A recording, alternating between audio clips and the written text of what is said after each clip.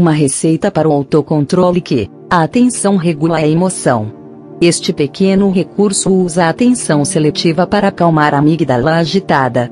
Desde que um bebê se mantenha focado em alguma coisa que o interesse, a aflição diminui. No instante em que aquela coisa perde a fascinação, a aflição, se ainda está presa nas redes da amígdala, volta com força total. O truque, evidentemente, é manter o bebê intrigado tempo suficiente para a amígdala se acalmar. Quando as crianças aprendem a dominar essa manobra da atenção, adquirem uma de suas primeiras habilidades de autorregulação emocional, que tem enorme importância para seus destinos, como administrar a rebelde amígdala. Esse recurso exige atenção executiva, uma capacidade que começa a florescer no terceiro ano de vida, quando uma criança pequena é capaz de demonstrar controle esforçado, concentrar-se segundo a própria vontade, ignorando as distrações e inibindo os impulsos. Os pais podem perceber esse marco quando um bebê faz a escolha intencional de dizer não a uma tentação, como esperar pela sobremesa depois de ter comido mais algumas porções do que está em seu prato. Isso também depende de atenção executiva, que floresce em força de vontade e autodisciplina, ou nossa capacidade de administrar nossos sentimentos perturbadores, ignorar nossos caprichos para conseguirmos nos manter focados num objetivo. Aos 8 anos de idade, a maior parte das crianças domina algum grau de atenção executiva. Essa ferramenta mental administra a operação de outras redes cerebrais para habilidades cognitivas, como aprender a ler e a realizar operações matemáticas e questões acadêmicas em geral. Veremos mais disso na parte 5. Nossa mente utiliza a autoconsciência para manter tudo o que fazemos nos trilhos. A metacognição, pensar sobre pensar, permite que saibamos como estão indo nossas operações mentais e possamos ajustá-las conforme for necessário. A metaemoção faz a mesma coisa, regulando o fluxo de sentimentos e impulsos. No design da mente, a autoconsciência tem a função de regular nossas próprias emoções, bem como perceber como os outros estão se sentindo. Neurocientistas enxergam autocontrole através das lentes da função executiva das zonas cerebrais subjacentes, que gerenciam habilidades mentais como autoconsciência e autorregulação, habilidades críticas para conduzirmos nossas vidas. A atenção executiva é a chave para a autogestão. Esse poder de direcionar nosso foco para alguma coisa, ignorar as outras, permite que tragamos à mente o tamanho da nossa barriga quando vemos aquelas fatias de torta de sorvete no freezer. Esse pequeno ponto de escolha abriga o cerne da força de vontade, a essência da autorregulação. O cérebro é o último órgão do corpo a amadurecer anatomicamente, continuando a crescer e a se moldar até os 20 anos, e as redes de atenção são como um órgão que se desenvolve em paralelo ao cérebro. Como todo pai de mais de um filho sabe, desde o primeiro dia de vida os bebês são diferentes uns dos outros. Um é mais alerta ou mais calmo ou mais ativo do que o outro. Essas diferenças de temperamento refletem a maturidade e a genética de várias redes cerebrais. Quanto do nosso talento para a atenção vem dos nossos genes? Depende. Acontece que diferentes sistemas de atenção têm diferentes graus de hereditariedade. A hereditariedade mais forte é para o controle executivo. Mesmo assim, construir essa habilidade vital depende em grande medida do que aprendemos na vida. A epigenética, ciência que estuda como o ambiente impacta em nossos genes, nos diz que herdar um conjunto de genes não é por si só suficiente para que eles tenham importância. Os genes têm o que equivale a um interruptor bioquímico de ligar barra desligar. Se nunca são acionados, é como se sequer o estivéssemos.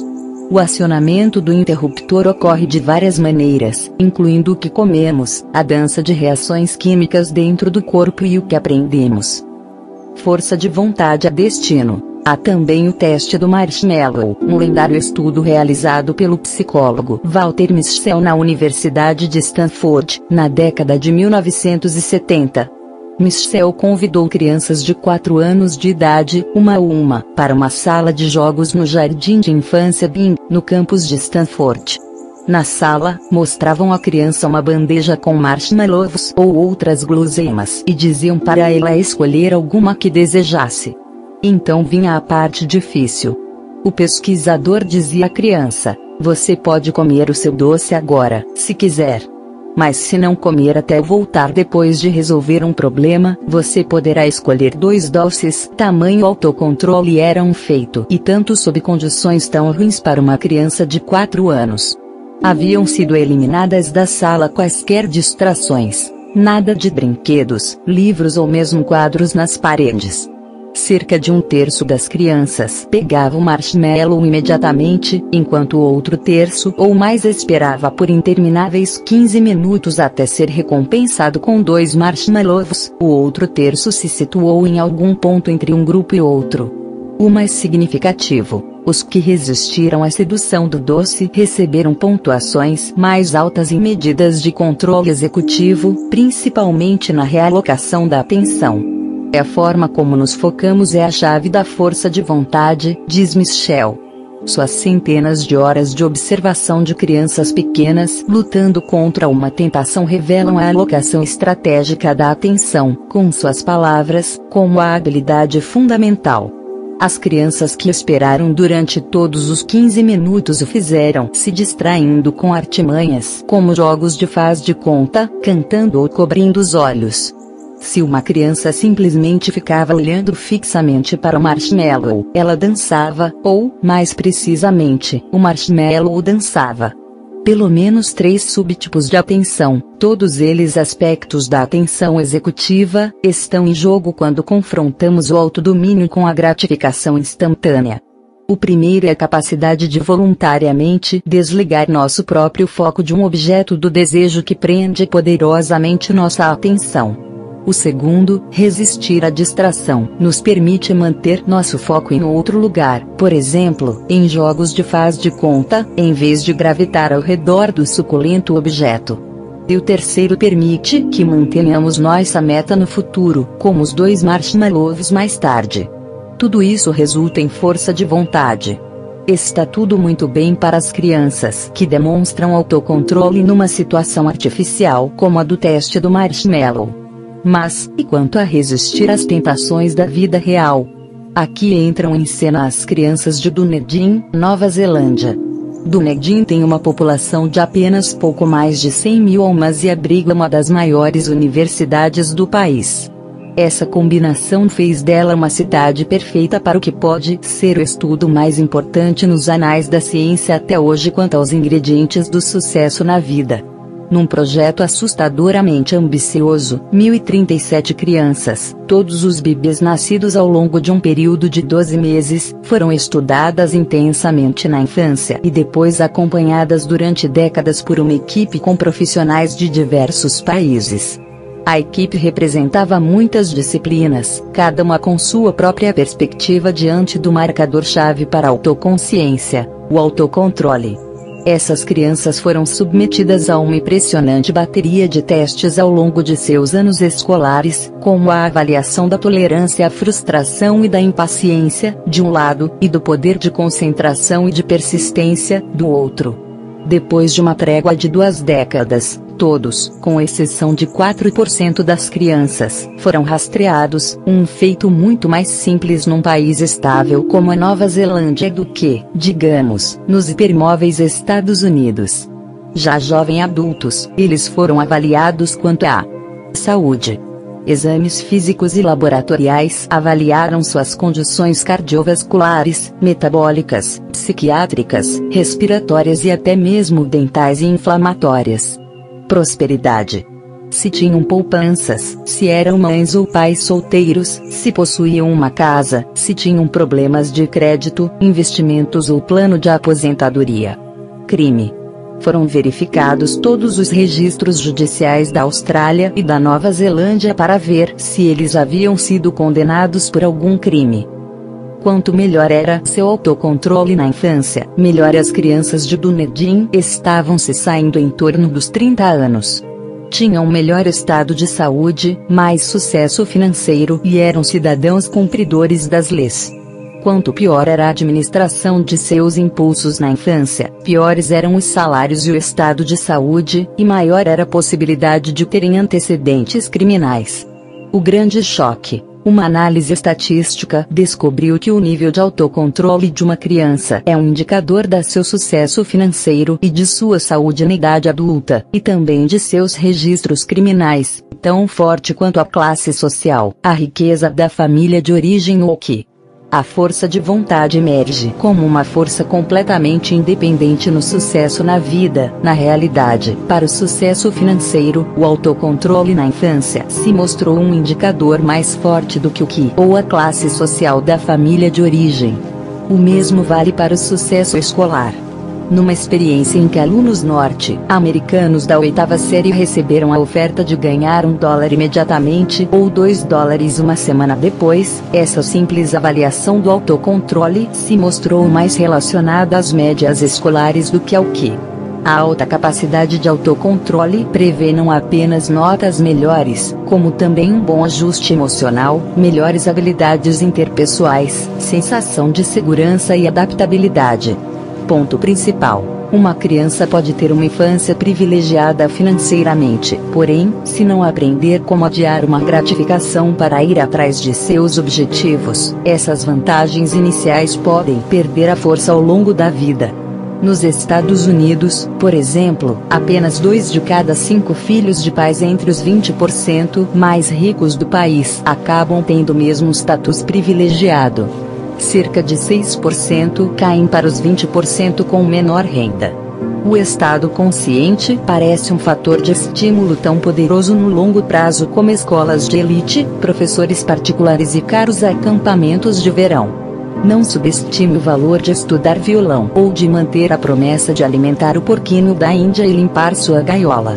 Outro ponto principal qualquer coisa que possamos fazer para aumentar a capacidade de controle cognitivo da criança irá ajudá-la ao longo de toda a vida. Até mesmo o come-come pode aprender a se sair melhor. O come-come aprende a beliscar. O DNA da Vila Sésamo embrulha a ciência do aprendizado com o entretenimento. No cerne de cada clipe da Vila Sésamo há uma meta curricular, disse Michael Levine, diretor executivo do Centro João Ganscoane, na oficina do programa.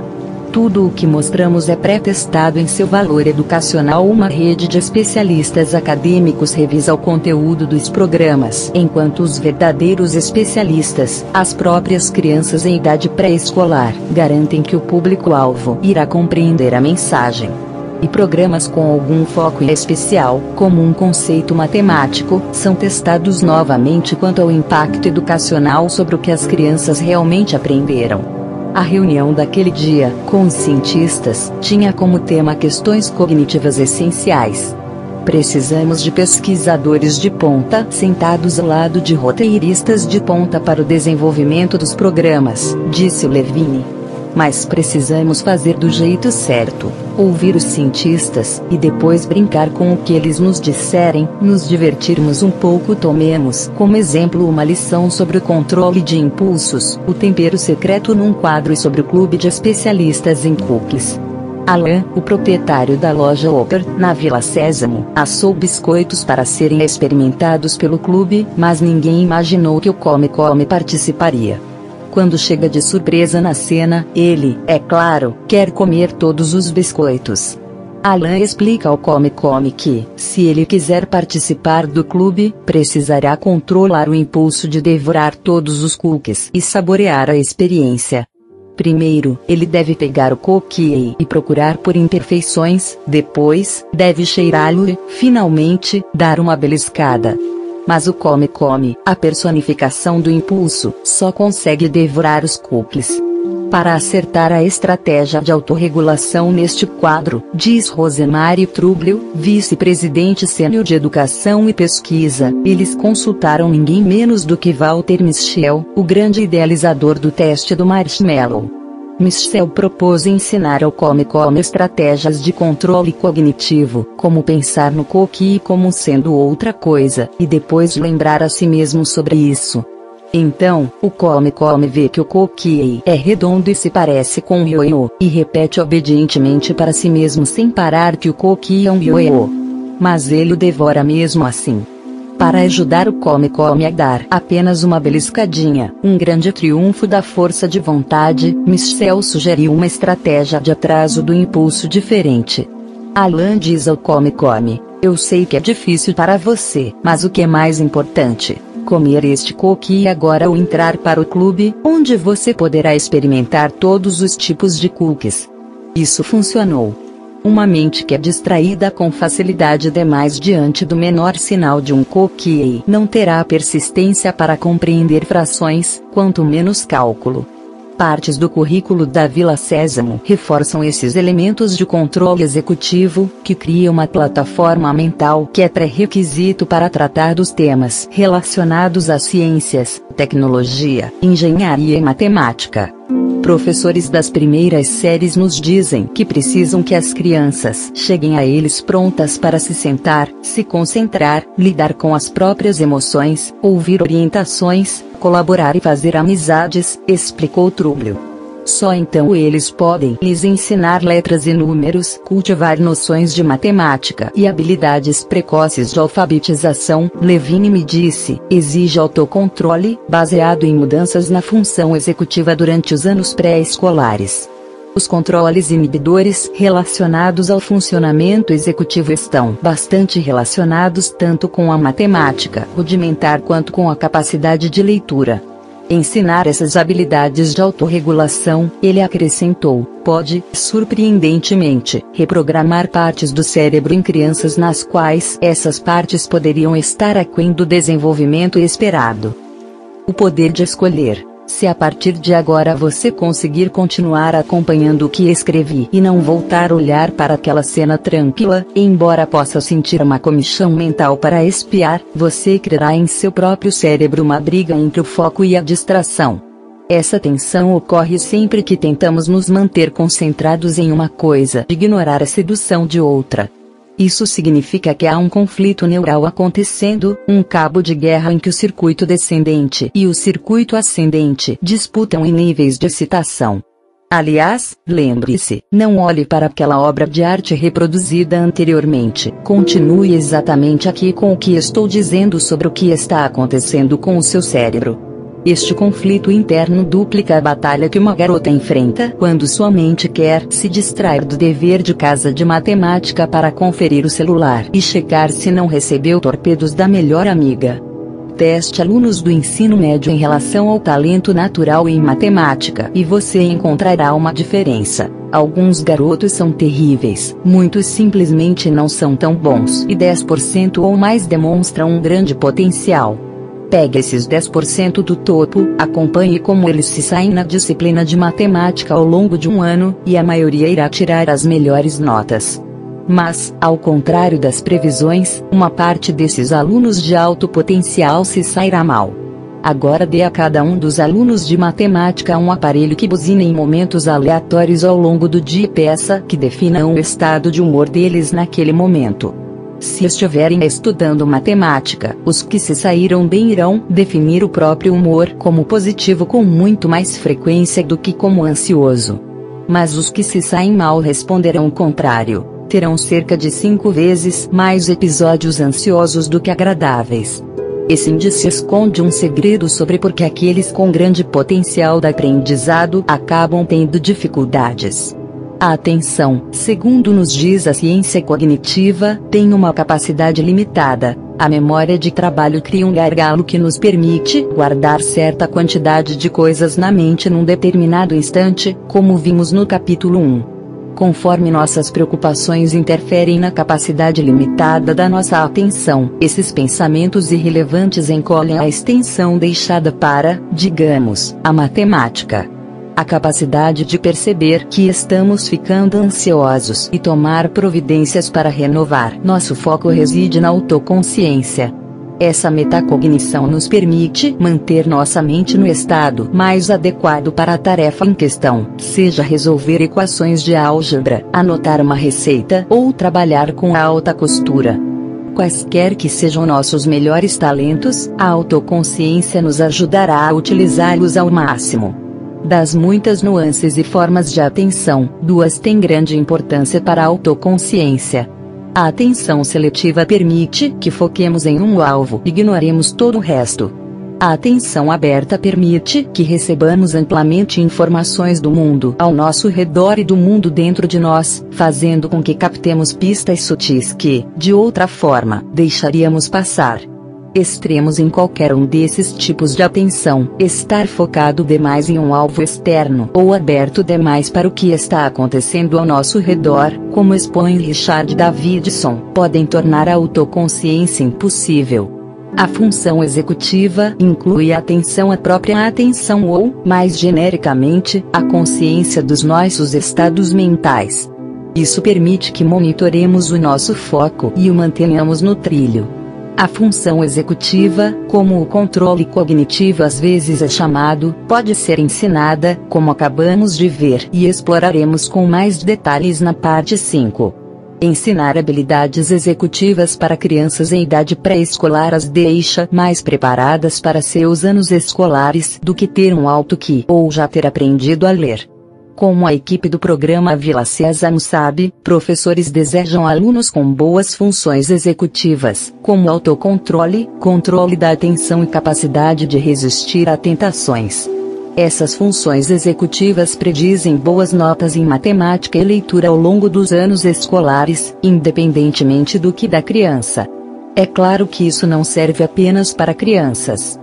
Esse poder de direcionar nosso foco em uma coisa e ignorar outras, de trazer nossa barriga à mente, digamos, quando vemos aquela torta de sorvete no freezer, está no cerne da força de vontade. Um saco de ossos. Avancemos 16 séculos e contrastemos aquele esforço asceta com seu extremo oposto. Como me disse um assistente social que trabalha com profissionais do sexo adolescentes em Los Angeles, é inacreditável como alguns garotos podem ser impulsivos.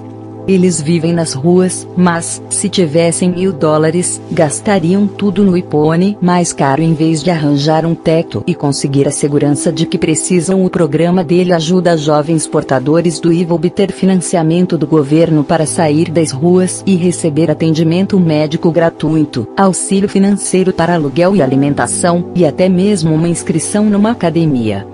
Eu cheguei a ver amigos de alguns desses garotos, ele me conta, se tornarem IV positivos de propósito para poderem receber os benefícios.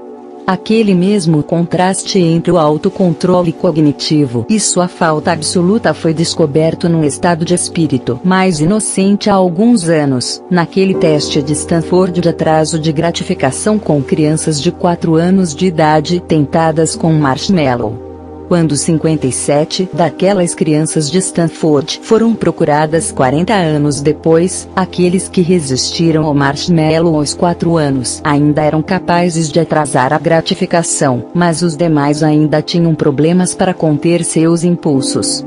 Então eles tiveram os cérebros examinados enquanto resistiam a uma tentação. Os que resistiram ao marshmallow ativavam circuitos-chave no córtex pré-frontal para controlar pensamentos e ações, inclusive o giro frontal inferior direito, que diz não aos impulsos. Mas os demais ativavam o estriado ventral, um circuito do sistema de recompensa do cérebro que ganha vida quando nos submetemos às tentações da vida e aos prazeres culpados, como uma sobremesa deliciosa.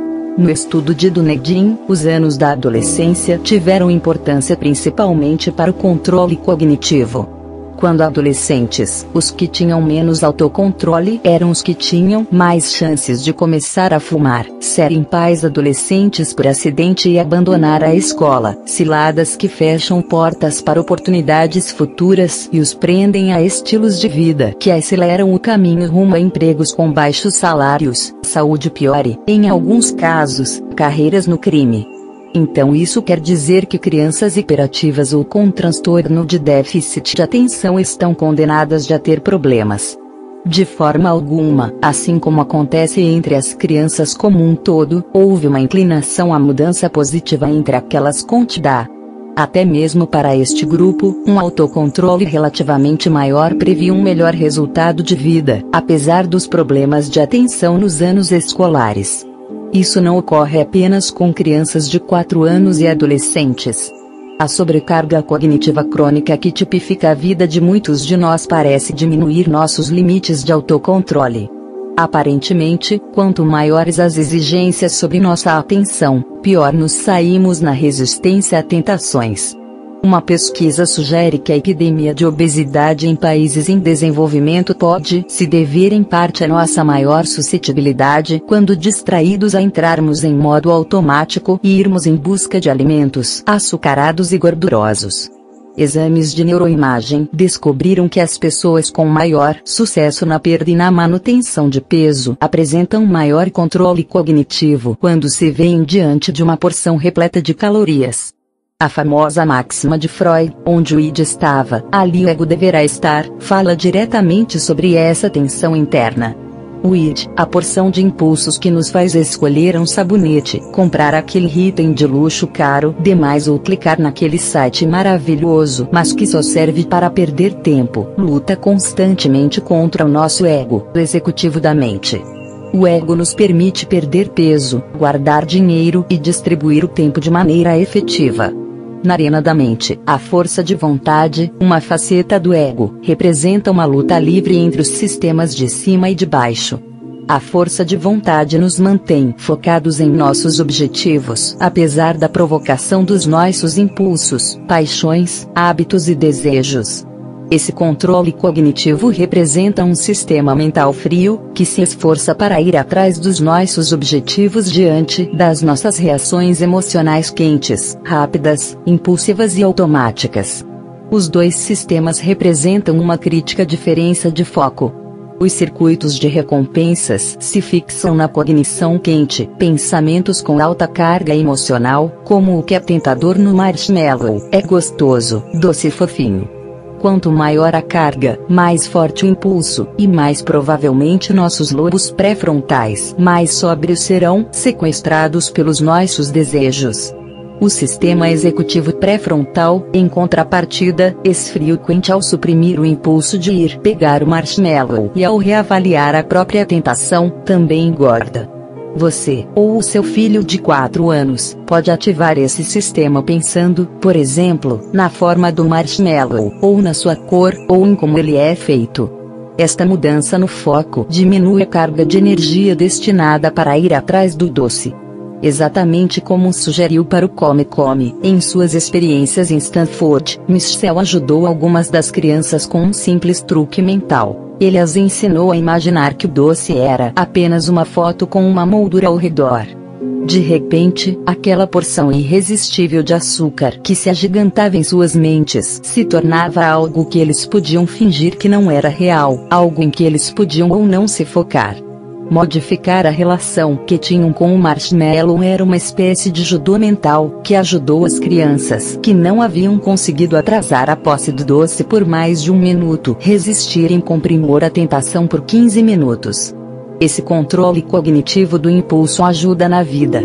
Como diz Michelle, se você é capaz de lidar com emoções quentes, consegue estudar para o vestibular em vez de assistir à televisão e é capaz de guardar mais dinheiro para a aposentadoria. Não tem a ver apenas com marshmallows distrações internas, reavaliação cognitiva e outras estratégias metacognitivas entraram nos manuais de psicologia nos anos 1970.